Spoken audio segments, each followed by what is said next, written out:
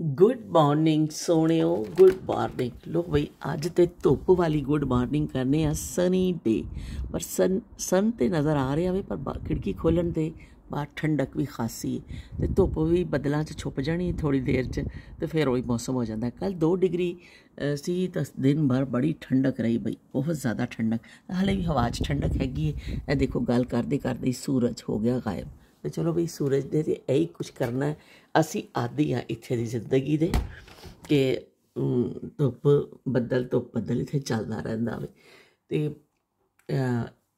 ਕੱਲ ਸ਼ਬੀਰ ਹੁਸੈਨ ਸਾਹਿਬ ਨੇ ਵੀ ਵੀਡੀਓ ਦੇਖ ਕੇ ਜਦੋਂ ਮੈਂ ਲਿਖਿਆ ਕਿ ਭਈ ਅੱਜ ਹੈਡਿੰਗ ਸੀ ਕਿ ਭਈ ਅੱਜ ਬਾਰਿਸ਼ ਹੁੰਦੀ ਰਹੀ ਰਾਤ ਭਰ ਤੇ ਉਹਨਾਂ ਨੇ ਕਿਹਾ ਸਾਡੇ ਇਲਾਕੇ 'ਚ ਵੀ ਬੜੀ ਬਾਰਿਸ਼ ਹੋਈ ਏ ਤੇ ਅ, ਯਕੀਨਨ ਤੁਹਾਡੇ ਵੀ ਉੱਥੇ ਠੰਡ ਵੱਧ ਗਈ ਹੋ ਰਹੀ ਹੈ ਤੇ ਉਹਨਾਂ ਨੇ ਵੀ ਆਪਣੀ ਸ਼ੇਅਰ ਕੀਤਾ ਕਿ ਉੱਥੇ ਵੀ ਨਿਊਯਾਰਕ 'ਚ ਰਹਿੰਦੇ ਨੇ ਸ਼ਬੀਰ ਹੁਸੈਨ ਸਾਹਿਬ ਕਿ ਉੱਥੇ ਵੀ ਬੜੀ ਬਾਰਿਸ਼ ਹੋਈ ਹੈ ਤੇ ਉਹਨਾਂ ਨੇ ਕਮੈਂਟ ਕਰਕੇ ਦੱਸਿਆ ਤੇ ਵੀ ਸਾਨੂੰ ਵੀ ਪਤਾ ਚੱਲ ਗਿਆ ਵਰਨਾ ਸਾਨੂੰ ਕਿਤੋਂ ਪਤਾ ਚੱਲਣਾ ਸੀ। ਤੇ ਬਾਕੀ ਇਸਮਾਈਲ ਬੇਗ ਸਾਹਿਬ ਨੇ ਬੜਾ ਪੁੱਛਿਆ ਜੀ ਸਵਾਲ ਇੰਨੇ ਸਾਰੇ ਸਵਾਲ ਕੀਤੇ ਉਹਨਾਂ ਨੇ ਤੇ ਭਈ ਇਹ ਆਪਕੇ ਸਵਾਲ का प्या- प्यार के सवाल का प्यार ही जवाब है ਤੇ ਉਹਨਾਂ ਨੇ ਕਿਹਾ ਕਿ ਵੀ ਤੁਸੀਂ ਆਪਣੇ ਲ- ਪਿੰਡ ਦਾ ਦੱਸੋ ਜਿਹੜੀ ਤੁਸੀਂ ਰਹਿੰਦੇ ਹੋ ਜਿੱਥੇ ਕੋਈ ਦੱਸੋ ਸਾਨੂੰ ਕਿ ਕਿੱਥੇ ਹੱਟੀ ਕੋਈ ਹੈਗੀ ਹੈ ਕਿ ਨਹੀਂ ਕੋਈ ਰਕਸ਼ਾ ਚੱਲਦਾ ਹੈ ਕਿ ਨਹੀਂ ਕੋਈ ਮਸਜਿਦ ਕਿੰਨੀ ਕੁ ਦੂਰ ਹੈ ਤੇ ਅਹ, ਫਲੈਟਾਂ ਦੇ ਕਿਰਾਏ ਕਿੰਨੇ ਨੇ ਬਿਜਲੀ ਦਾ ਬਿੱਲ ਕਿੰਨਾ ਕੁ ਆਉਂਦਾ ਵੇ ਇਹ ਸਾਰੀਆਂ ਸ਼ੈਵਾਂ ਸਾਨੂੰ ਦੱਸੋ ਤੇ ਚਲੋ ਜੀ, ਅਸੀਂ ਤੁਹਾਡੇ ਸਵਾਲਾਂ ਦੇ ਕੁਝ ਜਵਾਬ ਦੇ ਦੇਣੇ ਆ ਮੈਂ ਨੀਚੇ ਚੱਲੀ ਜਾ। ਮੈਂ ਉੱਠੀ ਆ ਮੂੰਹ ਧੋ ਕੇ ਆਈ ਆ ਪਰ ਹਲੇ ਮੈਂ ਆਪਣਾ ਬਿਸਤਰਾ ਵੀ ਠੀਕ ਨਹੀਂ ਕੀਤਾ। ਥੋੜਾ ਜਿਹਾ ਸਮਾਨ ਇਕੱਠਾ ਕੀਤਾ ਵੇ। ਤੇ ਇਹ ਦੇਖੋ ਰਜ਼ਾਈ ਕਿਸ ਤਰ੍ਹਾਂ ਸਰੀਰ ਪੁੱਟੀ ਸਿੱਧੀ ਪਈ ਹੈ। ਹੁਣ ਮੈਂ ਠੀਕ ਕਰਕੇ ਨਾ, ਫਿਰ ਮੈਂ ਨੀਚੇ ਚਲੀ ਜਾਵਾਂਗੀ। ਫਿਰ ਰਾਤ ਨੂੰ ਫਿਰ ਉੱਪਰ ਆਣਾ ਹੁੰਦਾ ਵੇ ਬਸ। ਜਦੋਂ ਫਿਰ ਇੱਕ ਦਫਾ ਉੱਠ ਕੇ ਨੀਚੇ ਚਲ ਜਾਓ, ਫਿਰ ਵਾਰ-ਵਾਰ ਉੱਪਰ ਨਹੀਂ ਆਣਾ ਹੁੰਦਾ। ਤੇ ਮੈਂ ਤੁਹਾਡੇ ਸਵਾਲ ਦਾ ਇਹ ਜਵਾਬ ਦੇਣੀ ਆ ਕਿ ਇੱਥੇ ਫਲੈਟਾਂ ਦੇ ਕਿਰਾਏ ਕਿੰਨੇ ਨੇ? ਸ਼ਬੀਰ ਹੁਸੈਨ ਸਾਹਿਬ ਇੱਥੇ ਇਹ ਫਲੈਟ ਨਹੀਂ ਨੇ, ਇਹ ਹਾਊਸਿਸ ਬਣੇ ਹੋਏ ਨੇ, ਘਰ ਨੇ ਮਤਲਬ ਪੂਰੇ ਪੂਰੇ ਜਿਹੜੇ ਸਾਡਾ ਇਲਾਕਾ ਵੇ। ਵੈਸੇ ਇੱਥੇ ਜਿਹੜੇ ਨੇ ਯੂਕੇ ਵਿੱਚ ਮੈਂ ਦੇਖਿਆ ਵੇ, ਜਿੱਥੇ ਤੱਕ ਮੈਂ ਜਾਣਨੀ ਆ ਜ਼ਿਆਦਾ ਤੇ ਮੈਂ ਵੀ ਨਹੀਂ ਜਾਣਨੀ ਆ ਕਿ ਮੈਂ ਕੋਈ ਬਹੁਤ ਕੋਈ ਮਾਹਿਰ ਕੋਈ ਉਹ ਆ, ਤੇ ਇੱਥੇ ਫਲੈਟ ਸਿਸਟਮ ਬਹੁਤ ਘੱਟ ਹੈ ਜਾਂ ਇੱਕ ਕਮਰੇ ਦਾ ਘਰ ਹੁੰਦਾ ਵੇ, ਦੋ ਕਮਰੇ ਦੇ 3 bedroom house 4 bedroom 5 bedroom 6 bedroom ਇਹ ਸਭ ਬੜੇ ਤੋਂ ਘਰ ਇਸ ਤਰ੍ਹਾਂ ਹੁੰਦੇ ਜਾਂਦੇ ਨੇ, ਲੇਕਿਨ ਫਲੈਟ ਸਿਸਟਮ ਇੱਥੇ ਘੱਟ ਹੈ। ਤੇ ਜ਼ਿਆਦਾਤਰ ਲੋਕ ਕੋ ਟੂ ਬੈਡ ਬੈਡਰੂਮ ਹਾਊਸ ਹੁੰਦਾ ਹੈ, ਕੋਈ ਇੱਕ ਲੈ ਲੈਂਦਾ ਹਰ ਕੋਈ ਆਪਣੀ ਜ਼ਰੂਰਤ ਦੇ ਹਿਸਾਬ ਨਾਲ ਤੇ ਉਸ ਤਰ੍ਹਾਂ। ਇਹ ਜਿਹੜੀ ਸਾਡੀ ਕਲੋਨੀ ਹੈ, ਇੱਥੇ ਜਿਹੜਾ ਵੇ ਜ਼ਿਆਦਾਤਰ 5 ਬੈਡਰੂਮ ਔਰ 4 ਬੈਡਰੂਮ 3 ਬੈਡਰੂਮ ਦੇ ਵੀ ਕੁਝ ਹੈਗੇ ਨੇ, ਇਸ ਤਰ੍ਹਾਂ ਦੇ ਘਰ ਨੇ। ਸਾਡਾ ਜਿਹੜਾ ਘਰ ਹੈ, ਇਹ ਵੇ 5 ਬੈਡਰੂਮ ਤੇ ਇਸ ਤਰ੍ਹਾਂ ਸਾਹਮਣੇ ਵੀ ਕੋਈ 6 ਵਾਲਾ ਵੇ, ਕੋਈ 5 ਵਾਲਾ ਵੇ, ਲੇਕਿਨ ਇਹ ਜ਼ਿਆਦਾਤਰ ਘਰ ਨੇ, ਫਲੈਟ ਨਹੀਂ ਨੇ। ਤੇ ਦੂਸਰਾ ਹੈ ਵੀ ਕਿ ਜੀ ਤੁਸੀਂ ਪੁੱਛਿਆ ਕਿ ਵੀ ਤੁਹਾਡੀ ਹੱਟੀ ਕੋਈ ਹੈਗੀ ਉਹ ਹੱਟੀ ਕੋਈ ਨਹੀਂ ਜੀ ਅੱਲਾ ਦੀ ਕਸਮ ਹੱਟੀ ਹੈ ਹੀ ਨਹੀਂ ਤੇ ਨਜ਼ਦੀਕ ਤਰੀਨ ਕੋਈ ਹੱਟੀ ਨਹੀਂ ਹੈ ਤੇ ਜਿਹੜਾ ਵੇ ਨਾ ਮਦ- ਮਸ- ਮਸਾਜਿਦ ਸਾਡੇ ਇਲਾਕੇ 'ਚ ਬਹੁਤ ਜ਼ਿਆਦਾ ਨੇ। ਇੰਨੀਆਂ ਮਸਾਜਿਦ ਨੇ ਇੱਥੇ ਖਾਸੀਆਂ ਜ਼ਿਆਦਾ ਨੇ ਕਿ ਇੱਥੇ ਜ਼ਿਆਦਾ 80% ਮੇਰਾ ਖਿਆਲ ਸ਼ਾਇਦ ਮੈਂ ਗਲਤ ਕਹਿ ਰਹੀ ਹਾਂ ਜਾਂ ਅ, 80 ਤੋਂ ਵੀ ਜ਼ਿਆਦਾ ਜਿਹੜੇ ਆਬਾਦੀ ਹੈ ਨਾ ਮੁਸਲਿਮਸ ਨੇ ਉਹਦੇ ਵਿੱਚ ਪਰ ਇਹ ਕਿ ਸਾਰੇ ਪਾਕਿਸਤਾਨੀ ਨਹੀਂ ਨੇ ਕੁਝ ਆਜ਼ਾਦ ਕਸ਼ਮੀਰ ਵਾਲੇ ਦੇ ਵੀ ਮੁਸਲਿਮਸ ਨੇ ਕੁਝ ਇੱਥੇ ਦੇ ਨੇ ਔਰ ਕੁਝ ਇੰਡੀਅਨ ਮੁਸਲਿਮ ਬਹੁਤ ਜ਼ਿਆਦਾ ਨੇ। ਸਾਡੇ ਆਪਣੇ ਇਸ ਇਲਾਕੇ ਵਿੱਚ ਇੰਡੀਅਨ ਮੁਸਲਿਮਸ ਬਹੁਤ ਨੇ।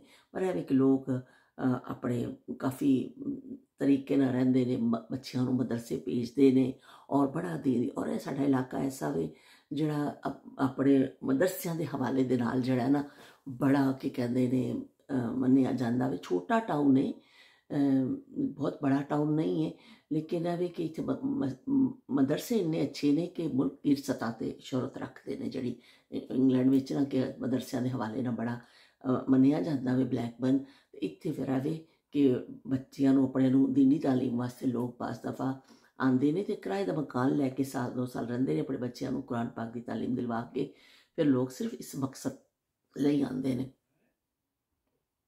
ਤੇ ਇੱਥੇ ਜਿਹੜਾ ਵੇ ਮਦਰਸੇ 'ਚ ਦਾਖਲਾ ਮਿਲਣਾ ਕਰਨਾ ਉਹ ਵੀ ਮੁਸ਼ਕਿਲ ਹੈ। ਕਈ ਮਦ- ਮਦਰਸਿਆਂ 'ਚ ਤਾਂ ਬਹੁਤ ਮੁਸ਼ਕਿਲ ਦਾਖਲਾ ਔਰ ਫਿਰ ਬੱਚਿਆਂ ਬੜੀ ਸਖਤੀ ਕੀਤੀ ਜਾਂਦੀ ਹੈ ਕਿ ਬੱਚਿਆਂ ਨੂੰ ਛੁੱਟੀ ਨਾ ਬੱਚੇ ਮਦਰਸੇ ਤੋਂ ਕਰਨ ਔਰ 2.5 ਘੰਟੇ ਮਦਰਸੇ ਦਾ ਟਾਈਮ ਹੈ। ਰਾਫੇ ਵੀ ਸਾਡਾ ਆਂਦਾ ਨੂਰ ਫਾਤਿਮਾ ਨੇ ਮਦਰਸੇ ਤੋਂ ਪੜ੍ਹਿਆ ਸਕੂਲ ਤੋਂ ਆਂਦੇ ਨੇ, ਖਾਣਾ ਖਾਂਦੇ ਨੇ 5 ਵਜੇ ਮਦਰਸਾ ਸ਼ੁਰੂ ਹੋ ਜਾਂਦਾ ਵੇ। 5 ਵਜੇ ਤੁਸੀਂ ਮਦਰਸੇ ਚਲੇ ਜਾਂਦੇ ਹੋ ਔਰ ਉਸ ਤੋਂ ਬਾਅਦ ਫਿਰ ਜਿਹੜਾ 7:30 ਛੁੱਟੀ ਹੁੰਦੀ 2.5 ਘੰਟੇ ਉੱਥੇ ਰੱਖਦੇ ਨੇ ਬੱਚਿਆਂ ਨੂੰ, ਫਿਰ ਉਹ ਤੇ ਸਪਾਰਾ ਵੀ ਪੜਾਉਂਦੇ ਨੇ, ਹਦੀਸਾਂ, ਕਲਮੇ ਯਾਦ ਕਰਾਉਂਦੇ ਨੇ, ਫਿਰ ਜਦੋਂ ਬੱਚੇ ਬੜੀ ਉਹਦੇ ਆ ਜਾਂਦੇ ਨੇ, ਜੀ ਕਲਾਸ ਦਾ ਸਿਸਟਮ ਹੈ, ਤੇ ਫਿਰ ਬੱਚਿਆਂ ਨੂੰ ਉਰਦੂ ਵੀ ਪੜ੍ਹਾਈ ਜਾਂਦੀ। ਇਹ ਸਭ ਤੋਂ ਅੱਛੀ ਗੱਲ ਹੈ ਉਰਦੂ ਵੀ ਸਿਖਾਉਂਦੇ ਨੇ ਬੱਚਿਆਂ ਨੂੰ ਕਿ ਲਿਖਣਾ, ਪੜ੍ਹਨਾ, ਬੱਚੇ ਇੰਨੀ ਸਿੱਖ ਲੈਂਦੇ ਨੇ ਕਿ ਕੋਈ ਥੋੜਾ ਬਹੁਤ ਪੜ੍ਹਨਾ ਪੈ ਜਾਣਾ ਕਰ ਸਾਡੇ ਨੂਰ ਫਾਤਮਾ ਵੀ ਮਾਸ਼ਾਅੱਲਾ ਹੁਣ ਉਰਦੂ ਇੰਨਾ ਪੜ੍ਹ ਲੈਂਦੀ ਹੈ ਕਿ ਬਈ ਕੋਈ ਕਿਤੇ ਥੋੜੀ ਬਹੁਤ ਜ਼ਰੂਰੀ ਚੀਜ਼ ਲਿਖੀ ਹੋਵੇ ਤੇ ਪੜ੍ਹ ਲੈਂਦੀ ਨੂੰ ਜੇ ਕਰਨਾ ਸਿਖਾ ਦਿੰਦੇ ਨੇ ਇਸ ਤਰ੍ਹਾਂ। ਇਹ ਬੜੀ ਅੱਛੀ ਚੀਜ਼ ਹੈ ਮਦਰਸਿਆਂ ਦੇ ਹਵਾਲੇ ਨਾਲ ਸਾਡਾ ਸ਼ਹਿਰ ਜਿਹੜਾ ਨਾ ਬਈ ਟੌਪ ਤੇ ਵੇ। ਤੇ ਬਾਕੀ ਇਹ ਵੇ ਕਿ ਹੱਟੀ ਇੱਥੇ ਲਾ ਕੇ ਕੋਈ ਨਹੀਂ ਤੇ ਰਕਸ਼ਾ ਤੇ ਕੋਈ ਹੈ ਹੀ ਨਹੀਂ ਹੈ ਆਪਣਾ ਮੁਲਕ ਯਾਦ ਆਂਦਾ ਕਿ ਜੇ ਜਾਣੇ ਆ ਤੇ ਰਕਸ਼ੇ ਤੇ ਬਹਿਨੇ ਆ, ਉਹ ਜਿਹੜੀਆਂ ਨਾ ਗੱਲਾਂ ਉਹ ਵੀ ਭੁੱਲਦੇ ਨਹੀਂ ਅਸੀਂ। ਬਾਕੀ ਲੋਕ ਜਿਹੜੇ ਨੇ, ਆਪਣੇ ਕੰਮ ਦੇ ਨਾਲ ਕੰਮ ਜ਼ਿਆਦਾ ਰੱਖਦੇ ਨੇ, ਆਪਣੇ ਤੇ ਸਾਡੇ ਇੱਥੇ ਰੇਲਵੇ ਸਟੇਸ਼ਨ ਵੀ ਇੱਕ ਹੈਗਾ ਵਾ ਟ੍ਰੇਨ ਸਟੇਸ਼ਨ ਜਿੱਥੇ ਟ੍ਰੇਨਾਂ ਜਿਹੜੀਆਂ ਆਉਂਦੀਆਂ ਨੇ, ਮਦਰਸੇ ਬੜੇ ਅੱਛੇ ਨੇ ਤੇ ਰਕਸ਼ਾ ਹੈ ਕੋਈ ਨਹੀਂ, ਮਸਜਿਦ ਵੀ ਦੋ ਤਿੰਨ ਮਸਾਜਿਦ ਨੇ ਲੇਕਿਨ ਇੰਨੇ ਨੇ ਕਿ ਵਾਕਿੰਗ ਡਿਸਟੈਂਸ ਦੇ ਨੇ, ਕੋਈ ਜ਼ਿਆਦਾ ਦੂਰ ਨਹੀਂ ਹੈ, ਕਿ ਬਹੁਤ ਜ਼ਿਆਦਾ ਕਰੀਬ ਵੀ ਨਹੀਂ ਹੈ ਕਿ ਇੱਥੋਂ ਨਿਕਲੋ ਤੇ ਚਲ ਜਾਓ, ਲੇਕਿਨ ਐਸਾ ਵੀ ਉਹਨੇ ਰਾਫੀ ਵੀ ਜਿਸ ਮਦਰਸੇ 'ਚ ਜਾਂਦੇ ਨੇ ਪੈਦਲ ਪੈਦਲ ਦਾ ਹੀ ਰਸਤਾ ਵੇ ਪਰ ਕਿ ਪੈਦਲ ਜ਼ਿਆਦਾ ਸ਼ਾਰਟ ਪੈਦਾ ਵੇ। ਤੇ ਮੇਰਾ ਮੈਂ ਕਿਸੇ ਦਿਨ ਮੌਸਮ ਸਹੀ ਹੋਏਗਾ ਨਾ, ਤੇ ਤੁਹਾਨੂੰ ਇਸ ਤਰ੍ਹਾਂ ਮੈਂ ਥੋੜਾ ਜਿਹਾ ਜਾ ਕੇ ਬਾਹਰ ਫਿਰ ਉਹ ਦਿਖਾ ਦਵਾਂਗੀ ਕਿ ਬੜਾ ਅੱਛਾ ਹੈ। ਔਰ ਇੱਥੇ ਫੂਡ ਜਿਹੜਾ ਵੇ, ਬੜਾ ਅੱਛਾ ਮਿਲਦਾ ਵੇ ਹਲਾਲ ਫੂਡ ਜ਼ਿਆਦਾਤਰ ਹਲਾਲ ਫੂਡ ਇੱਥੇ, ਤੇ ਇਸ ਤੋਂ ਜ਼ਿਆਦਾ ਮਸਲਾ ਨਹੀਂ ਹੁੰਦਾ ਸਾਨੂੰ ਕਿ ਫੂਡ ਦੇ ਹਵਾਲੇ ਦੇ ਨਾਲ ਵੀ ਬਾਅਦ ਸ਼ਹਿਰ ਇੱਥੇ ਐਸੇ ਨੇ ਕਿ ਲੋਕ ਦੂਸਰੇ ਸ਼ਹਿਰਾਂ ਤੋਂ ਜਾ ਕੇ ਫਿਰ ਸ਼ਾਪਿੰਗ ਕਰਕੇ ਆਉਂਦੇ ਨੇ ਖਾਣ ਪੀਣ ਦੀਆਂ ਚੀਜ਼ਾਂ ਦੀ ਸਪੈਸ਼ਲੀ ਹਲਾਲ, ਗੋਸ਼ਤ, ਇਸ ਤਰ੍ਹਾਂ ਲੈ ਕੇ ਸਾਨੂੰ ਸਾਰੀਆਂ ਚੀਜ਼ਾਂ ਬੜੀਆਂ ਚੰਗੀਆਂ ਮਿਲ ਜਾਂਦੀਆਂ ਨੇ, ਬੱਕਰੇ ਦਾ ਗੋਸ਼ਤ ਵੀ ਬੜਾ ਹੀ ਜ਼ਬਰਦਸਤ ਮਿਲਦਾ ਵੀ ਫਟਾਫਟ ਗਲ ਜਾਂਦਾ ਵੇ ਤੇ ਉਹਦੇ ਵਿੱਚ ਹੀਕ ਵਗੈਰਾ ਵੀ ਨਹੀਂ ਹੁੰਦੀ ਤੇ ਚਲੋ ਬਈ ਇਹ ਸਾਡਾ ਟਾਊਨ ਬਹੁਤ ਚੰਗਾ, ਬਹੁਤ ਬੜਾ ਨਹੀਂ ਹੈ, ਪਰ ਬਹੁਤ ਚੰਗਾ ਵੇ।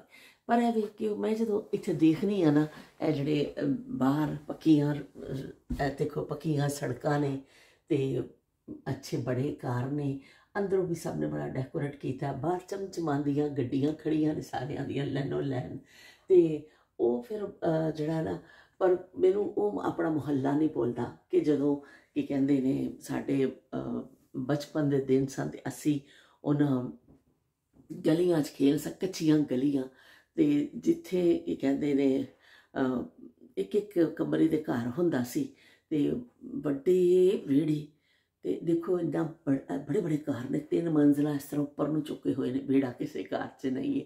ਤੇ ਪਿੱਛੇ ਲਾਉਣ ਜ਼ਰੂਰ ਦਿੰਦੇ ਨੇ ਇੱਥੇ, ਪਰ ਹੈ ਕਿ ਵਿਹੜੇ ਇੱਥੇ ਲਾਉਣ 'ਚ ਕੀ ਕਰਨਾ, ਇੰਨੀ ਠੰਡ ਹੈ, ਕਦੀ ਬਸ ਇੰਨਾ ਨਿਕਲਦੀ ਨਹੀਂ, ਗਰਮੀ 'ਚ ਕਿਸੇ ਆ ਚਲੇ ਗਏ।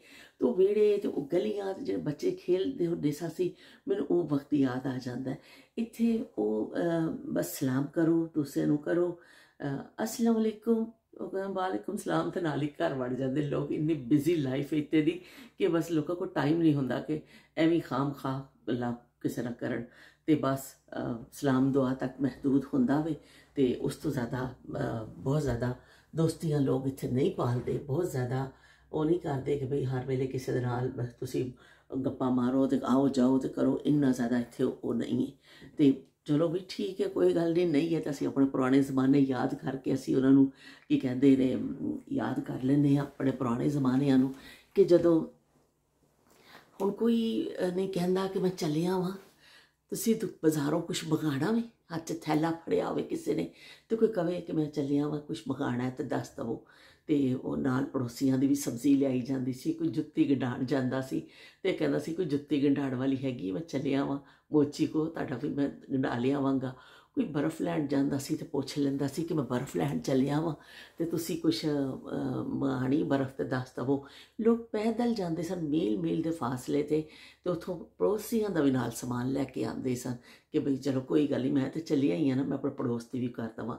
ਤੇ ਇਸ ਤਰ੍ਹਾਂ ਮੁਹੱਲਿਆਂ 'ਚ ਇੱਕ ਦੂਸਰੇ ਨੂੰ ਕੋਈ ਔਰਤ ਅਗਰ ਤੰਦੂਰ ਤੇ ਰੋਟੀਆਂ ਪਕਾਉਂਦੀ ਗਰਮੀਆਂ ਹੁੰਦੀਆਂ ਸਨ, ਅਕਸਰ ਔਰਤਾਂ ਘਰਾਂ 'ਚ ਬੇਹੋਸ਼ ਹੋ ਜਾਂਦੀਆਂ ਸਨ, ਰੋਟੀਆਂ ਪਕਾਉਂਦੇ ਪਕਾਉਂਦੇ ਵਿਚਾਰੀਆਂ ਨੂੰ ਗਰਮੀ ਲੱਗੀ ਹੁੰਦੀ ਸੀ, ਤੰਦੂਰ ਦਾ ਸੇਕ ਪੈਣਾ ਤੇ ਦਿਲ ਕੱਟ ਜਾਣਾ। ਉਹ ਸਾਰੀਆਂ ਔਰਤਾਂ ਨੇ ਫਟਾਫਟ ਇਕੱਠੀਆਂ ਹੋ ਜਾਣਾ ਉਹਨੂੰ, ਪਾਣੀ ਪਿਲਾਣਾ, ਉਹਦੇ ਮੂੰਹ ਤੇ ਛਿੱਟੇ ਮਾਰੋ, ਪਾਣੀ ਦੇ ਇਹਨੂੰ ਦੇਖੋ, ਉਹਨੂੰ ਕਰਨਾ, ਉਹ ਫਟਾਫਟ ਉਹਨੂੰ ਦੇਖ ਲੈਂਦੀਆਂ ਸਨ, ਹੋਸ਼ 'ਚ ਦਵਾ ਲੈਂਦੀਆਂ। ਇੱਥੇ ਉਹ ਉਹ ਚੱਕਰ ਨਹੀਂ ਹੈ। ਉਹ ਜ਼ਮਾਨਾ ਗੁਜ਼ਰ ਗਿਆ ਜਦੋਂ ਅਸੀਂ ਜਾਂਦੇ ਹੁੰਨੇ ਸਾਂ, ਪਿਆਲੀ ਫੜ ਕੇ ਕਿ ਖਾਲਾ ਕੀ ਪਕਾਇਆ ਵੇ ਸਾਲਨ ਦੇ ਦੋ। ਪੜੋਸੀਆਂ ਦੇ ਘਰ ਬਿਲਾ ਝਿਜਕ ਆਪਣਾ ਹੀ ਸਮਝ ਕੇ ਕਦੀ ਅਸੀਂ ਪੜੋਸੀ ਸਮਝਿਆ ਹੀ ਨਹੀਂ ਸੀ, ਸਾਨੂੰ ਪਤਾ ਹੀ ਨਹੀਂ ਸੀ ਇਹ ਪੜੋਸੀ ਹੁੰਦੇ ਨੇ। ਸਾਨੂੰ ਤਾਂ ਇਸ ਤਰ੍ਹਾਂ ਲੱਗਦਾ ਸੀ ਸਾਡੇ ਆਪਣੇ ਹੀ ਨੇ। ਅਸੀਂ ਸਾਲਨ ਮੰਗਣ ਚਲੇ ਜਾਂਦੇ ਹੁੰਦੇ ਸਾਂ ਕਿ ਖਾਲਾ ਸਾਲਨ ਕੀ ਪਕਾਇਆ, ਦੇ ਦਿਓ ਫੁੱਫੋ ਸਾਲਨ ਦੇ ਦਿਓ ਥੋੜਾ ਜਿਹਾ ਤੇ ਫੁੱਫੋ ਦੇ ਪਿਆਲੀ 'ਚ ਪਾ ਕੇ ਦੇ ਦੇਣਾ। ਉਹ ਜ਼ਮਾਨੇ ਨਾਯਾਬ ਹੋ ਗਏ। ਹੁਣ ਬੜੇ ਬੜੇ ਘਰ ਨੇ, ਅਸੀਂ ਨਾ ਬੜੇ ਬੜੇ ਬਿਲਡਿੰਗਾਂ ਦੇ ਇਹਦੇ ਵਿੱਚ ਰਹਿੰਦੇ ਆ ਪਰ ਕਿਸੇ ਦੇ ਘਰ ਸਾਲਣ ਮੰਗਣ ਨਹੀਂ ਜਾ ਸਕਦੇ ਅਸੀਂ ਕਿ ਸਾਨੂੰ ਸਾਲਣ ਦੇ ਦਿਓ। ਅੱਜ ਸਾਡੀ ਮਰਜ਼ੀ ਦਾ ਨਹੀਂ ਪੱਕਿਆ। ਉਹ ਦੌਰ ਜਿਹੜੇ ਨੇ, ਸਾਡੀ ਜ਼ਿੰਦਗੀਆਂ ਦੇ ਖਤਮ ਹੋ ਗਏ ਨੇ ਕਿ ਜਿਹੜੇ ਕੀ ਕਹਿੰਦੇ ਨੇ, ਸਾਲਣ ਲੈਣ ਜਾਂਦੇ ਹੁੰਦੇ ਸਾਂ ਤੇ ਬਿਲਾ ਝਿਜਕ ਤੇ ਇੱਕ ਦੂਸਰੇ ਦੇ ਘਰ ਘਰ- ਘਰੋਂ ਜਿਹੜਾ ਨਾ ਕੀ ਕਹਿੰਦੇ ਨੇ ਉਹ ਵੀ ਮੰਗ ਲਿਆ ਜਾਂਦਾ ਸੀ ਆਟਾ, ਘਿਓ, ਚੀਨੀ, ਵੀ ਖਤਮ ਹੋ ਜਾਣਾ, ਕਹਿਣਾ ਜਾਓ ਜੀ। ਫਲਾਣੇ ਦੇ ਘਰੋਂ ਮੰਗ ਲਿਆ, ਇੱਕ ਮੱਗਾ ਮੱਗਾ ਵੀ ਘਰੋਂ ਲੈ ਕੇ ਜਾਣਾ ਕਿ ਖਾਲਾ ਜੀ, ਇੱਕ ਮੱਗਾ ਘਿਓ ਦੇ ਦਿਓ ਲਿਆਵਾਂਗੇ ਤੇ ਤੁਹਾਨੂੰ ਦੇ ਦੇਵਾਂਗੇ। ਚੀਨੀ ਬਹੁਤ ਮੰਗੀ ਜਾਂਦੀ ਸੀ, ਕਿਉਂਕਿ ਦੁਕਾਨਾਂ ਉਸ ਵੇਲੇ ਨਹੀਂ ਸਨ ਨਜ਼ਦੀਕ ਨਜ਼ਦੀਕ ਫਿਰ ਕੋਈ ਅਚਾਨਕ ਜ਼ਰੂਰਤ ਪੈ ਜਾਂਦੀ ਸੀ। ਬਿਲਾ ਝਿਜਕ ਪੜੋਸੀਆਂ ਕੋ ਮੰਗ ਲਿਆ ਜਾਂਦਾ ਸੀ ਫਿਰ ਜਦੋਂ ਚੀਜ਼ ਆਣੀ ਉਹਨਾਂ ਨੂੰ ਵਾਪਸ ਕਰ ਦਿੱਤਾ ਜਾਂਦਾ ਸੀ ਉਹ, ਅ, ਔਰ ਜ਼ਿਆਦਾਤਰ اخلاق ਵਿੱਚ ਲੋਕ ਵਾਪਸ ਲੈਂਦੇ ਵੀ ਨਹੀਂ ਸਨ ਕਹਿਣਾ ਕੋਈ ਗੱਲ ਨਹੀਂ ਫਿਰ ਕੀ ਹੋ ਗਿਆ ਸਾਨੂੰ ਲੋੜ ਪਏਗੀ ਤਾਂ ਅਸੀਂ ਲੈ ਲਾਂਗੇ ਤੇ ਉਹ ਅਪਨਾਈਅਤ ਵਾਲੇ ਦੌਰ ਖਤਮ ਹੋ ਗਏ ਹੁਣ ਤੁਹਾਡੀ ਚੀਜ਼ ਮੁੱਕ ਗਈ ਹੈ ਤਾਂ ਤੁਸੀਂ ਜਾਣਾ ਵੀ ਬਾਜ਼ਾਰ ਤੋਂ ਜਾ ਕੇ ਲੈ ਕੇ ਆਣਾ ਕਿਸੇ ਪੜੋਸ ਤੇ ਜਾ ਕੇ ਤੁਸੀਂ ਕੁੰਡੀ ਵਜਾਣੇ ਕੇ ਲਿਆਓ ਵੀ ਸਾਡੇ ਕੰਮ ਬਾਜ਼ਾਰ ਕਿਉਂ ਮੁੱਕ ਗਿਆ ਤਾਂ ਸਾਨੂੰ ਦੇ ਦਿਓ ਨੋ ਐਸਾ ਕੋਈ ਮਜ਼ਾਕ ਨਹੀਂ ਹੈ ਬਹਰਹਾਲ ਚਲੋ ਜ਼ਮਾਨੇ ਦੇ ਨਾਲ ਨਾਲ ਹਰ ਸ਼ੈ ਬਦਲਦੀ ਹੈ ਤੇ ਉਹ ਮੁਖਲਿਸ ਦੌਰ ਤੇ ਉਹ ਸਾਰੀਆਂ ਚੀਜ਼ਾਂ ਅ, ਦੌਰ ਜਿਹੜੇ ਨੇ ਖਤਮ ਹੋ ਗਏ ਹੁਣ ਤੇ ਬਸ ਗਰਜ਼ਾਂ ਵਾਲੇ ਜ਼ਮਾਨੇ ਨੇ ਤੇ ਅਮ, ਚਲੋ ਠੀਕ ਹੈ ਫਿਰ ਵੀ ਅਲਹਮਦੁਲਿਲਾ ਅਸੀਂ ਬੜੀ ਅੱਛੀ ਜਗ੍ਹਾ ਰਹਿ ਰਹੇ ਹਾਂ ਅੱਲਾਹ ਪਾਕ ਦਾ ਸ਼ੁਕਰ ਹੈ ਕਿ ਜਬ ਅ, ਮੁਸਲਿਮ ਜ਼ਬਾਦੀ ਹੈ ਬੱਚੇ ਫਿਰ ਇੱਕ ਦੂਸਰੇ ਨਾਲ ਮਿਲਦੇ ਨੇ ਕਰਦੇ ਨੇ ਲੋਕ ਤਰਾਵੀ ਤੇ ਜਾਂਦੇ ਨੇ ਲੋਕ ਅੱਗੇ ਕਹਿੰਦੇ ਨਮਾਜ਼ ਈਦ ਦੀ ਪੜ੍ਹਦੇ ਨੇ ਕਰਦੇ ਨੇ ਫਿਰ ਵੀ ਅਪ- ਇੱਕ ਆਪਣਾ ਅ, ਚੀਜ਼ ਨਜ਼ਰ ਆਉਂਦੀ ਹੈ। ਤੇ ਚਲੋ ਠੀਕ ਹੈ ਬਈ ਹੋਰ ਇਸ ਜ਼ਿੰਦਗੀ ਤੁਹਾਨੂੰ ਪਤਾ ਨਹੀਂ ਕਿਤੇ ਕਿਤੇ ਕੀ ਕੁਛ ਦਿਖਾਉਂਦੀ ਹੈ। ਤੇ ਜ਼ਿੰਦਗੀ ਇਮਤਿਹਾਨ ਲੈਤੀ ਹੈ। ਤੇ ਲੋ ਬਈ ਉਸਮਾ ਨੇ ਮੈਸੇਜ ਕੀਤਾ ਕਿ ਭਾਜੀ ਉਹ ਚਮਚਾ ਗਰਮ ਕਰਕੇ ਤੇ ਕੁੰਡਲ ਮੈਂ ਵੀ ਪਾਏ ਹੋਏ ਨੇ। ਉਹ ਮੈਨੂੰ ਵੀ ਯਾਦ ਹੈ ਕਿ ਚਮਚਾ ਕਰਕੇ ਨਾ ਐਸਾ ਕਰਕੇ ਗਰਮ ਤੇ ਕੁੰਡਲ ਵਾਲਾ ਨੂੰ ਮੈਂ ਪਾਣੀ ਜਾ ਤੇ ਵੀ ਮੈਨੂੰ ਬੜਾ ਚੰਗਾ ਲੱਗਿਆ। ਮੈਂ ਕਿਹਾ ਲੋ ਭਈ ਉਸਮਾ ਨੇ ਵੀ ਆਪਣੀ ਯਾਦ ਉਸਮਾ ਹਾਸੇ ਮੈਸੇਜ ਕਰਦੇ ਜੀ ਹਾਸੇ ਜ਼ਿਆਦਾ। ਤੇ ਕਹਿੰਦੇ ਮੈਂ ਤੁਹਾਨੂੰ ਤੰਗ ਕਰਨੀ ਆ। ਮੈਂ ਕਹਿੰਦੀ ਨਹੀਂ ਤੁਹਾਡੇ ਕਮੈਂਟ ਮੈਨੂੰ ਬੜੇ ਚੰਗੇ ਲੱਗਦੇ ਨੇ। ਉਸਮਾ ਬਹੁਤ ਜ਼ਿਆਦਾ ਸ਼ੇਅਰ ਕਰਦੇ ਨੇ ਚੀਜ਼ਾਂ ਮੇਰੇ ਨਾਲ। ਤੇ ਮੈਂ ਤੁਹਾਨੂੰ ਸਾਰਿਆਂ ਨੂੰ ਇਹ ਕਹਿੰਦੀ ਆ ਕਿ ਜਦੋਂ ਮੈਂ ਕਿਸੇ ਜ਼ਮਾਨੇ ਦਾ ਜ਼ਿਕਰ ਕਰਨੀ ਆ ਅੰਬੀ ਇਨਸਾਨ ਹੈ ਭਾਈ, ਅਸੀਂ ਵੀ ਕੋਈ ਗੱਲ ਭੁੱਲ ਸਕਦੇ ਆ ਤੇ ਤੁਸੀਂ ਮੈਨੂੰ ਯਾਦ ਕਰਾ ਦਿਆ ਕਰੋ, ਅਗਰ ਜੇ ਮੈਂ ਕੋਈ ਗੱਲ ਭੁੱਲ ਜਾਵਾਂ, ਤੇ ਤੁਸੀਂ ਮੈਨੂੰ ਯਾਦ ਕਰਾ ਦਿਆ ਕਰੋ ਕਿ ਵੀ ਇਹ ਵੀ ਹੁੰਦਾ ਸੀ ਉਸ ਜ਼ਮਾਨੇ 'ਚ। ਤੇ ਉਹ ਜਾਂ ਆਪਣੇ ਇਲਾਕੇ ਦੀ ਕੋਈ ਚੀਜ਼ ਦੱਸਿਆ ਕਰੋ, ਫਿਰ ਇਸ ਤਰ੍ਹਾਂ ਅਸੀਂ ਇੱਕ ਦੂਸਰੇ ਨਾਲ ਜੋੜਨੇ ਆ ਜਿਵੇਂ ਕੱਲ ਮੈਂ ਉਹ ਜ਼ਿਕਰ ਕੀਤਾ ਬਚਪਨ ਦੇ ਖੇਲਾਂ ਦਾ, ਤੇ ਮੈਂ ਸਭ ਤੋਂ ਖੇਲ ਅਹਿਮ ਭੁੱਲ ਹੀ ਗਈ। ਬਾਅਦ ਚ ਮੈਨੂੰ ਖਿਆਲ ਆਇਆ ਆ ਹਾਏ, ਉਹ ਤੇ ਮੈਂ ਦੱਸਿਆ ਹੀ ਨਹੀਂ ਕਿ ਜਿਹੜਾ ਉਹ ਹੁੰਦਾ ਸੀ ਅਮ, ਅ- ਖੇਲਨੇ ਹੁੰਦੇ ਸਾਂ। ਉਹ ਜ਼ਮੀਨ ਤੇ ਖਾਨੇ ਬਣਾ ਕੇ ਜੇ ਅ, ਵੱਟ- ਉਹਦਾ ਖੇਲਨੇ ਹੁੰਦੇ ਸਾਂ ਕਿ ਉਹ ਪੱਥਰ ਦੇ ਨਾਲ ਫਿਰ ਅੱਗੇ ਕਰਨਾ ਖਾਨਿਆਂ ਚ ਨੂੰ ਪਾਣਾ ਅਸੀਂ ਤੇ ਪਹਿਲਦੂਜ ਕਹਿੰਦੇ ਹੁੰਦੇ ਸਾਂ। ਉਹ ਤਾਂ ਜ਼ਿਕਰ ਕਰਨਾ ਮੈਂ ਭੁੱਲ ਹੀ ਗਈ ਕਿ ਉਹ ਕਿੰਨਾ ਮਜ਼ੇ ਦਾ ਗੇਮ ਹੁੰਦਾ ਸੀ। ਇਸ ਤਰ੍ਹਾਂ ਕੁਝ ਚੀਜ਼ਾਂ ਕਦੀ ਮੈਂ ਵੀ ਭੁੱਲ ਸਕਦੀ ਹਾਂ। ਭਾਈ ਅੰਬੀ ਇਨਸਾਨ ਹੈ ਤੇ ਤੁਸੀਂ ਮੈਨੂੰ ਯਾਦ ਕਰਾ ਦਿਆ ਕਰੋ। ਤੇ ਬਾਕੀ ਤੁਹਾਡੇ ਸਭ ਦੇ ਕਮੈਂਟ ਦਾ ਬਹੁਤ ਬਹੁਤ ਸ਼ੁਕਰੀਆ। ਤੇ ਇੱਕ ਕਮੈਂਟ ਆਦਾ ਵੇ ਮੈਨੂੰ ਸਾਜਦਾ ਤਨਵੀਰ ਦੇ ਨਾਂ ਤੇ ਉਹਨਾਂ ਨੇ ਉਸ ਨੂੰ ਕਮੈਂਟ ਕੀਤਾ। ਤੇ ਉਹਨਾਂ ਨੇ ਕਿਹਾ ਕਿ ਬਈ ਤੁਸੀਂ ਤੁਹਾਡੇ ਆਪਣੇ ਸਕਿਨ ਪ੍ਰੋਡਕਟ ਦੱਸੋ, ਤੁਸੀਂ ਕਿਹੜੀ ਸਕਿਨ ਤੇ ਲਾਉਂਦੇ ਹੋ? ਤੇ ਮੈਂ ਉਹਨਾਂ ਨੂੰ ਦੱਸ ਦਿੱਤਾ ਤਿੱਬਤ ਕੋਲਡ ਕਰੀਮ ਅੱਗੋਂ ਲਿਖ ਦਿੱਤਾ, ਜਿਹੜੀ ਮੈਂ ਲਾਨੀ ਆ, ਤੇ ਮੈਂ ਉਹਨਾਂ ਨੂੰ ਦੱਸ ਦਿੱਤੀ। ਤੇ ਉਹਨਾਂ ਨੇ ਮੈਨੂੰ ਲੱਗਦਾ ਹੈ ਸਾਜਦਾ ਸ਼ਾਇਦ ਹੈਦਰਾਬਾਦ ਤੋਂ ਮੈਨੂੰ ਕਰਦੇ ਨੇ। ਮੈਂ ਨਾਂ ਤੋਂ ਥੋੜਾ ਜਿਹਾ ਚੌਂਕੀ ਆ ਜਾਂ ਮੈਂ ਥੋੜਾ ਇਸ ਤਰ੍ਹਾਂ ਆਈਡੀਆ ਲਾਉਣ ਦੀ ਕੋਸ਼ਿਸ਼ ਕੀਤੀ ਹੈ ਲੇਕਿਨ ਮੈਨੂੰ ਬਿਲਕੁਲ ਸਹੀ ਨਹੀਂ ਪਤਾ। ਸਾਜਦਾ ਤੁਸੀਂ ਅਗਰ ਵੀਡੀਓ ਦੇਖੋ, ਦੁਬਾਰਾ ਤੇ ਮੈਨੂੰ ਜ਼ਰੂਰ ਦੱਸਿਓ ਕਿ ਤੁਸੀਂ ਕਿੱਥੋਂ ਮੈਨੂੰ ਦੇਖਦੇ ਹੋ। ਮੈਨੂੰ ਲੱਗਦਾ ਹੈ ਹੈਦਰਾਬਾਦ ਤੋਂ ਦੇਖਦੇ ਨੇ ਸਾਜਦਾ ਤਨਵੀਰ। ਇਹ ਬਈ ਤਿੱਬਤ ਕੋਲਡ ਕਰੀਮ ਬਈ ਜੇ ਤੇ ਇਹਦਾ ਇਹਦੀ ਮਸ਼ਹੂਰੀ ਮੈਂ ਤਿੱਬਤ ਵਾਲੇ ਵੀ ਦੇਖ ਲੈਣ ਮੇਰਾ ਵਲੌਗ ਤੇ ਬਈ ਉਹਨਾਂ ਦੀ ਅਹ, ਮਸ਼ਹੂਰੀ ਮੈਂ ਹਰ ਵੇਲੇ ਕਰਦੀ ਰਹਿੰਦੀ ਤੇ ਚਲੋ ਅਸੀਂ ਹੁਣ ਚੱਲਦੇ ਹਾਂ ਨੀਚੇ ਆਪਣਾ ਬਿਸਤਰਾ ਠੀਕ ਕਰੀਏ ਤੇ ਨਾਇਆਬ ਜ਼ਮਾਨੇ 'ਚ ਯਾਦ ਆ ਗਏ ਕਰ ਲਏ ਅਸੀਂ ਯਾਦ ਕਿ ਉਸ ਦੀਆਂ ਯਾਦਾਂ। ਤੇ ਉਸ ਜ਼ਮਾਨੇ ਦਿਨ ਲਿਖਿਆ ਕਿ ਵੀ ਕੁੜੀ ਤੇ ਹਰੇ ਰੰਗ 'ਚ ਬੜੀ ਵੀ ਸੋਹਣੀ ਲੱਗਦੀ ਏ ਤੇ ਉਸ ਮਾਂ ਤੁਹਾਨੂੰ ਤਾਂ ਹਮੇਸ਼ਾ ਹੀ ਚੰਗੀ ਲੱਗਦੀ ਆ। ਕਦੀ ਤੁਹਾਨੂੰ ਗੁਲਾਬੀ ਕੱਪੜਿਆਂ 'ਚ ਬੜੀ ਚੰਗੀ ਲੱਗਣੀ ਆ, ਕਦੀ ਕਾਲੇ ਕੱਪੜਿਆਂ 'ਚ ਬੜੀ ਚੰਗੀ ਲੱਗਣੀ ਆ ਤੇ ਕਦੀ ਹਰੇ ਰੰਗ 'ਚ ਤੁਹਾਨੂੰ ਬੜੀ ਚੰਗੀ ਲੱਗਦੀ ਇਸ ਤੋਂ ਕਿ ਤੁਸੀਂ ਦਿਲ ਨਾਲ ਮੇਰੇ ਨਾਲ ਮੁਹੱਬਤ ਕਰਦੇ ਹੋ ਤੇ ਇਹ ਕਿਆ ਕਹਿੰਦੇ ਨੇ, ਹੁਸਨ ਦੇਖਣ ਵਾਲੇ ਦੀ ਅੱਖ ਵਿੱਚ ਹੁੰਦਾ ਵੇ। ਤੇ ਤੁਸੀਂ ਮੈਨੂੰ ਦੇਖਦੇ ਹੀ ਮੁਹੱਬਤ ਦੀ ਨਜ਼ਰ ਨਾਲ ਲਓ ਤੇ ਬਈ ਫਿਰ ਤੁਹਾਨੂੰ ਮੈਂ ਚੰਗਾ ਤੇ ਲੱਗਣਾ ਹੀ ਲੱਗਣਾ ਵੇ। ਤੇ ਬਹਿਰਾਲ ਤੁਹਾਡੇ ਸਭ ਦੇ ਕਮੈਂਟ ਦਾ ਬੜਾ ਸ਼ੁਕਰੀਆ ਕਿ ਤੁਸੀਂ ਮੇਰੇ ਨਾਲ ਜੁੜਦੇ ਹੋ ਤੇ ਫਿਰ ਇਨਸ਼ਾਅੱਲਾ ਮਿਲਦੇ ਰਹਿੰਦੇ ਹਾਂ, ਥੱਲੇ ਜਾਈਏ, ਦੇਖੀਏ ਅੱਜ ਅਸੀਂ ਕੀ ਪਕਾਉਂਦੇ ਆ ਤੇ ਕੀ ਖਾਂਦੇ ਆ ਤੇ ਫਿਰ ਤੁਹਾਨੂੰ ਆਪਣਾ ਸ਼ਾਮਿਲ ਰੱਖਾਂਗੇ ਤੇ ਫਿਲਹਾਲ ਅੱਲਾ ਹਾਫਿਜ਼ ਤੇ ਰੱਬ ਰੱਖਾ ਅੱਜ ਬੜੀਏ ਜੀ ਜ਼ਬਰਦਸਤ ਚਨਾ ਚਾਟ ਨਾਲ ਦਹੀਂ ਬੜੇ ਇਹ ਬੇਸਨ ਘੋਲਿਆ ਵੇ ਇਹ ਅਸੀਂ ਆਲੂ ਤਲਾਂਗੇ ਆਲੂ ਕੱਟ ਕੇ ਰੱਖੇ ਨੇ ਨਾਲ ਤਲੀਆਂ ਜਾ ਰਹੀਆਂ ਨੇ ਕੀਮੇ ਦੀਆਂ ਟਿੱਕੀਆਂ ਕੀਮਾ ਅਸੀਂ ਲੈ ਕੇ ਆਏ ਕੱਲ ਜਦੋਂ ਆਲੂ ਕੀਮਾ ਬਣਾਇਆ ਤੇ ਨਾਲ ਹੀ ਉੱਥੇ ਸ਼ਾਪ ਤੋਂ ਮਿਲਿਆ ਸਾਨੂੰ ਤਿਆਰ ਮਸਾਲੇ ਵਾਲਾ ਕੀਮਾ। ਇਹਨਾਂ ਨੇ ਸਾਰਾ ਹਰੀ ਮਿਰਚ ਮਸਾਲਾ ਬਣਾ ਕੇ ਬਿਲਕੁਲ ਤਿਆਰ ਕਰਕੇ ਦਿੱਤਾ। ਅਸੀਂ ਟਰਾਈ ਬੇਸ ਤੇ ਲੈ ਕੇ ਆਏ ਆ ਕਿ ਇਹਨੂੰ ਇਸਤੇਮਾਲ ਕਰਕੇ ਦੇਖੀਏ। ਇਹਦੀਆਂ ਬਾਂਡੀਆਂ ਪਈਆਂ ਨੇ ਜ਼ਬਰਦਸਤ ਇਹ ਟਿੱਕੀਆਂ ਤੇ ਐਨ ਬੜ ਲਗੇ ਜੇ ਗੋਲ ਗੱਪੇ। ਅੱਜ ਤੇ ਬਿਲਕੁਲ ਦੇਸੀ ਮਾਹੌਲ ਤੇ ਮਿੱਠੇ ਚੌਲ ਹੋ ਰਿਹਾ ਵੇ। ਅੱਜ ਵੀ ਕੋਈ ਦੇਸੀ ਸਟਾਈਲ ਦੇ ਸਾਡੀ ਸਾਰੀਆਂ ਡਿਸ਼ਾਂ ਨੇ ਔਰ રોઝા ખીલણમાં લાવે છે ઘરમાં ગરમ અઢળાને સારી બાંધવી પડીએ ગરમા ગરમ ગોલગપ્પે પણ લગે ને ભાઈ દેખો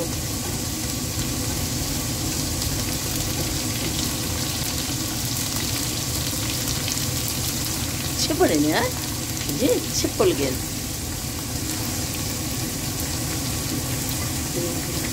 दूध कप्पे लाया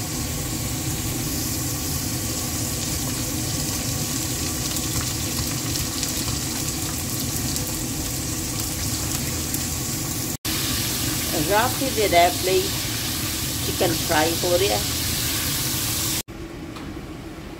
ਰੋਜ਼ਾ ਖੁੱਲ ਚੁੱਕਿਆ ਤੇ ਦਿਲ ਕੀਤਾ ਵੀ ਨੂਰ ਫਾਤਮਾ ਦੇ ਹੱਥ ਦੀ ਅਸੀਂ ਗਰਮਾ ਗਰਮ ਕੁਕੀਜ਼ ਖਾਈਏ। ਨੂਰ ਫਾਤਮਾ ਨੂੰ ਫਰਮਾਇਸ਼ ਕੀਤੀ ਗਈ ਹੈ ਨੂਰ ਫਾਤਮਾ ਨੇ ਕਿਹਾ, ਜੀ ਠੀਕ ਹੈ, ਮੈਂ ਬਣਾਣੀ ਆ।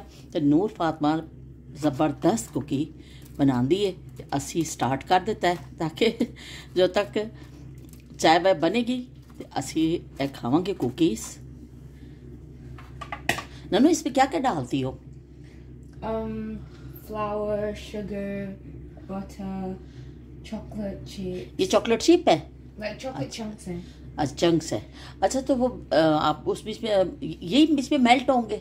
Yeah. अच्छा। नूर फातमा ने परसों बनाए थे सबको बहुत पसंद आए तो हमने दोबारा से फरमाइश की है कि नूर फातमा खवा दे सानू अपने हाथ दे बिस्किट। ਇਸ ਸਾਈਜ਼ ਦੇ ਨੂਰ ਫਾਤਮਾ ਬਣਾ ਰਹੀ ਹੈ ਲੇਕਿਨ ਇਹ ਜਦੋਂ ਗਰਮ ਹੋਏਗਾ ਓਵਨ ਵਿੱਚ ਜਾਏਗਾ ਇਹਨਾਂ ਦਾ ਸਾਈਜ਼ ਥੋੜਾ ਜਿਹਾ ਬੜਾ ਹੋ ਜਾਏਗਾ और ਜ਼ਬਰਦਸਤ ਕੁਕੀ ਤਿਆਰ ਹੁੰਦੇ ਨੇ ਭਾਈ ये कौन सा चॉकलेट प्लेन चॉकलेट है Yeah, it's like dark chocolate with sea salt. Dark chocolate sea salt अच्छा ये ऊपर लगाएंगे इसके ये आपने कहाँ से देखी थी रेसिपी TikTok. टिकटॉक लो भी टिकटॉक की रेसिपी देख लो वो टिकटॉक पे रेसिपी देखी है। नूर फातिमा ने हमें बना के खिलाई है अभी ज़बरदस्त टिकटॉक। Thanks thanks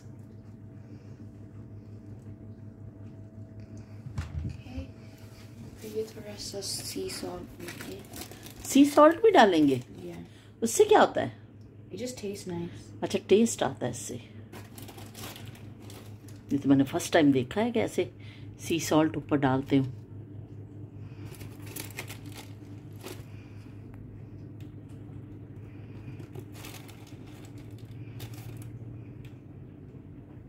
Okay. अब ये जाएगा ओवन में Yeah. चल So now you put it in the oven. 180 degrees. And then I'll put it on for 12 minutes first. ਅੱਛਾ ਚਲੋ ਵੀ 12 ਮਿੰਟ ਤੱਕ ਹੁਣ ਬਣ ਜਾਏਗਾ ਫਿਰ ਅਸੀਂ ਦੇਖਾਂਗੇ ਇਹਦੀ ਸ਼ਕਲ ਕੀ ਨਿਕਲਦੀ ਗਰਮਾ ਗਰਮ ਕੁਕੀਜ਼ ਬਣ ਕੇ ਆ ਗਏ ਨੇ ਔਰ ਇੰਨੀ ਚੰਗੀ ਖੁਸ਼ਬੂ ਪਈ ਆਂਦੀ ਹੈ ਨਾ ਕਿ ਦਿਲ ਕਰਦਾ ਪਿਆ ਕਿ ਫੌਰਨ ਫੌਰਨ ਖਾ ਲਈਏ ਤੇ ਜ਼ਾਰੇ ਗਰਮਾ ਗਰਮ ਆਏ ਨੇ ਬਣ ਬਣ ਕੇ, ਖਾਣੇ ਹੀ ਨੇ ਅਸੀਂ ਹੁਣ ਤੇ ਨੂਰ ਫਾਤਮਾ ਸਭ ਨੂੰ ਪਲੇਟ 'ਚ ਪਾ ਕੇ ਦੇ ਰਹੀ ਹੈ ਇੱਕ ਦਿਨ ਪਹਿਲੇ ਵੀ ਨੂਰ ਫਾਤਮਾ ਨੇ ਬਣਾਏ ਸਨ ਤੇ ਬਹੁਤ ਸਭ ਨੂੰ ਪਸੰਦ ਆਏ। ਇਸ ਤੋਂ ਦੁਬਾਰਾ ਫਰਮਾਇਸ਼ ਕੀਤੀ ਗਈ। ਔਰ ਨੂਰ ਫਾਤਮਾ ਖਾਂਦੀ ਹੈ ਇਹਨੂੰ ਆਈਸਕ੍ਰੀਮ ਦੇ ਨਾਲ। ਇਹਦੀ ਕੰਬੀਨੇਸ਼ਨ ਹੈ ਬਣਾਉਂਦੀ ਹੈ ਕਿ ਠੰਡੀ ਠੰਡੀ ਆਈਸਕ੍ਰੀਮ ਔਰ ਗਰਮ ਗਰਮ ਕੁਕੀਜ਼ ਤੇ ਬਈ ਇਸ ਤਰ੍ਹਾਂ ਰਲਾ ਕੇ ਖਾਂਦੇ ਨੇ ਇੱਥੇ ਦੇ ਬੱਚੇ। ਤੇ ਮੈਂ ਕਿਹਾ ਕਿ ਚਲੋ ਅਸੀਂ ਵੀ ਅੱਜ ਇਸ ਤਰ੍ਹਾਂ ਟਰਾਈ ਕਰਕੇ ਦੇਖਨੇ ਆ ਪਹਿਲੇ ਦਿਨ ਮੈਂ ਜਿਸ ਦਿਨ ਖਾਦਾ ਸੀ, ਮੈਂ ਸਾਦਾ ਹੀ ਕੁਕੀ ਖਾਦਾ ਸੀ। ਅੱਜ ਮੈਂ ਵੀ ਆਈਸਕ੍ਰੀਮ ਦੇ ਨਾਲ ਮੈਂ ਕਿਹਾ ਚਲੋ ਅਸੀਂ ਇਸ ਤਰ੍ਹਾਂ ਇਹ ਫਲੇਵਰ ਵੀ ਟਰਾਈ ਕਰੀਏ। ਤੇ ਨੂਰ ਫਾਤਮਾ ਕਹਿੰਦੀ, ਮੈਂ ਤੁਹਾਨੂੰ ਦੱਸਣੀ ਆ ਕਿ ਇਹਨੂੰ ਕਿਸ ਤਰ੍ਹਾਂ ਖਾਣਾ ਵੇ। ਤੇ ਉਹ ਥੋੜੀ ਜਿਹੀ ਆਈਸਕ੍ਰੀਮ ਤੋੜਨਗੇ ਔਰ ਥੋੜਾ ਜਿਹਾ ਬਿਸਕਿਟ ਜਿਹੜਾ ਔਰ ਫਿਰ ਉਹਨੂੰ ਖਾਦਾ ਜਾਏਗਾ। ਤੇ ਇਹਦਾ ਸਵਾਦ ਬਹੁਤ ਚੰਗਾ ਲੱਗਦਾ ਵੇ। ਤੇ ਚਲੋ ਵੀ ਹੁਣ ਬੱਚੇ ਕਹਿ ਰਹੇ ਨੇ ਤਾਂ ਠੀਕ ਹੈ, ਅਸੀਂ ਟਰਾਈ ਕਰਨੇ ਆ ਕਿ ਵੀ ਕਿਸ, ਇਹਦਾ ਕੀ ਜ਼ਾਇਕਾ ਆਵੇ। ਹੂੰ। ਹੂੰ। ਵਾਓ। ਬਹੁਤ ਮਜ਼ੇਦਾਰ ਯਕੀਨ ਮੰਨੋ, ਬਹੁਤ ਮਜ਼ੇਦਾਰ ਅੱਲਾ ਹਾਫਿਜ਼ ਤੇ ਰੱਬ ਰੱਖਾ।